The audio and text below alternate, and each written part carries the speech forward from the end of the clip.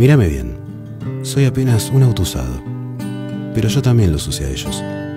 Los usé para que me llevaran a tantos lugares que de otra manera no hubiese podido conocer. Mira, acá adentro los vi reírse, los vi enojarse, los vi mirarse cuando puse algún tema de esos que se hicieron para que las parejas se miren.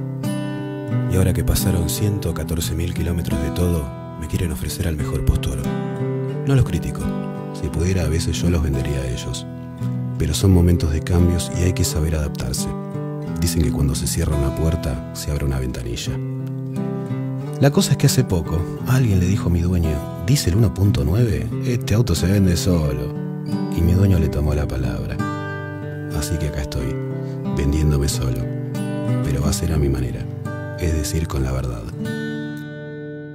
Por ejemplo, es cierto que alguna vez me costó arrancar. ¿Y qué? ¿A vos nunca te costó arrancar? ¿O todos los lunes llegás al laburo desbordante de alegría? Otra cosa, tengo nada más que 71 caballos de fuerza. Pero cuando viajemos vas a ver que son 71 leones. Igual ya sé, querés venir con tu mecánico de confianza. Te tengo una noticia. Las palabras mecánico y confianza son la mayor contradicción de este mundo. Pero si querés, tráelo. Es más, trae a todos. Trae al chino de tu cuadra, al gallego de la fábrica de pastas y al tano del corralón. Genial, buen auto. Y con la rebaja que te van a hacer, le jugás al 591 y en una de esas te sale gratis.